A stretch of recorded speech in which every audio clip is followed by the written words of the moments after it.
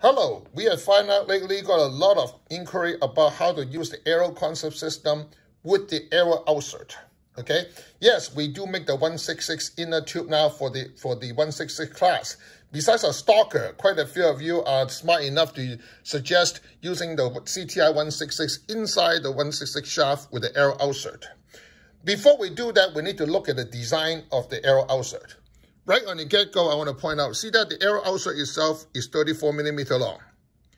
At the end of the thread is 17 millimeter, okay? And the front of the arrow, this section is 11 and a half. That means the entire portion of the threading is only five and a half millimeters. Now, when you look at the field point right here, that means just like this diagram, you can see that about this much is sticking into the shaft. So when you actually glue the Aero outsert, uh, the, the outsert, before you do that, you need to glue the tubing in first. When you glue the tubing in, you want to glue the tubing that so the tubing can be behind this.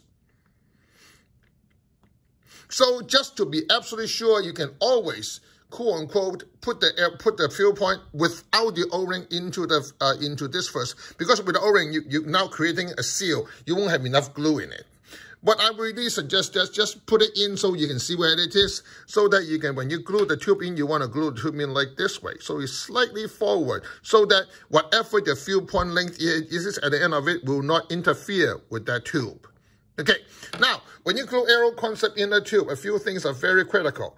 We build it based on the 166, which means the OD of this is 1667, okay? Uh, actually, uh, uh 1665, because our shaft is 16657.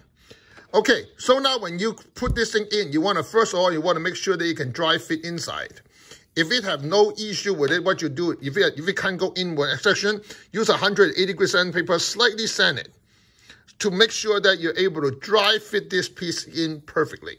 Now see, in this piece is perfect because this is our Aerowave 166 and this tubing is uh, 0.166 and this is 0.164. So you got 2000 you can very easily, but you can't guarantee every single shaft is indeed with that diameter.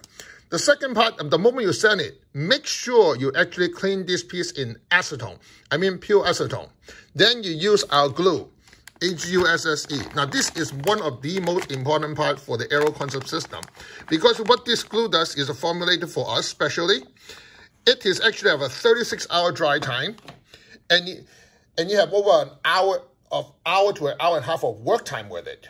Now, very important, a lot of people who are not familiar with epoxy, especially this kind of epoxy, you do not put it on a piece of paper and try to mix it. You put it on aluminum foil. The reason for that, because this hardener will literally got absorbed into the paper. Now your ratio are no longer correct. And you notice that we put them in the syringe so that you can very accurately put precise amount of glue and you can mix them. See, just like all epoxies, epoxies, if you don't mix them correctly, it will not work right. Now, next thing you know, people say that, well, you know, after I glue this in and I just simply glue the Aero outsert on top of it like that, right? No, in the case that there's a few more work, because it is a 166 square Aero, a lot more work need to be done. I suggest you barely sand this section about 70 millimeter to give you a slightly rough surface. You don't have to be much. And you see that the outside right here, the inside is clear. I mean, it is it's perfectly smooth. That means this is anodized and sealed.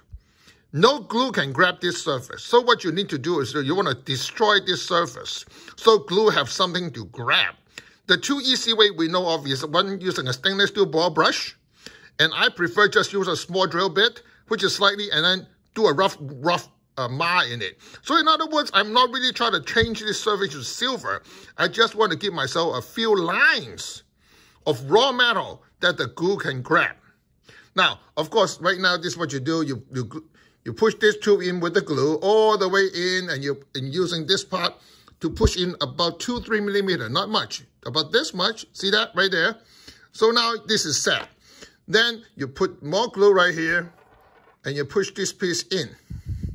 Now, after you push this in, this is where the APS come in real handy. This is what the hydro flow process. You grab this piece and then you roll the shaft. See that my hand's not moving, but I roll the shaft. What I do is I hydro flow the glue inside. And then you move your hand your head backwards. Do you see that? Now your eyes, this piece and the outer line are aligned. Now you can spin. See that? You can very clearly see whether it's spin through or not. The moment you spin through, you want to make sure it's indeed all the way in, and then you stand your arrow, not your arrow straight up. So now this is where a lot of people make the mistake.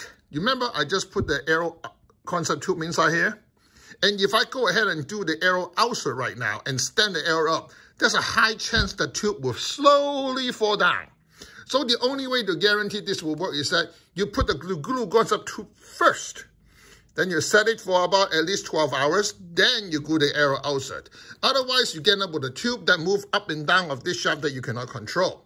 And second, you want to make sure the Aero outsert itself is indeed concentric with the shaft. Then you got yourself an Aero outsert with the arrow concept tubing. That concluded our video. Thank you.